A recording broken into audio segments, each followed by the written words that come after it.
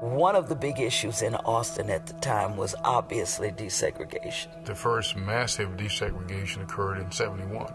And the court ordered then that Anderson would be closed. Anderson was a neighborhood school for African Americans. As we started uh, my senior year, 1971, they closed the black high school and basically divided up East Austin into districts. And we went and pleaded for our school to stay open. Of course, we weren't being listened to. And all the black students were bused to the various high schools in Austin.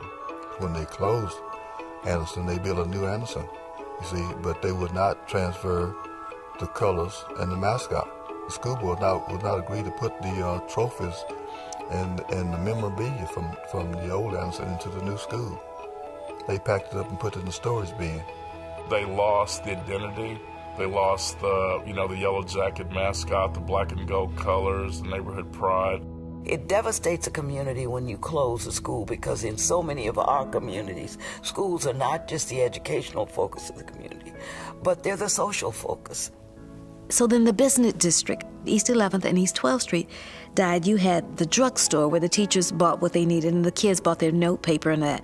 You had the dry cleaners. All of that was lost because the neighborhood died, all because they closed the schools.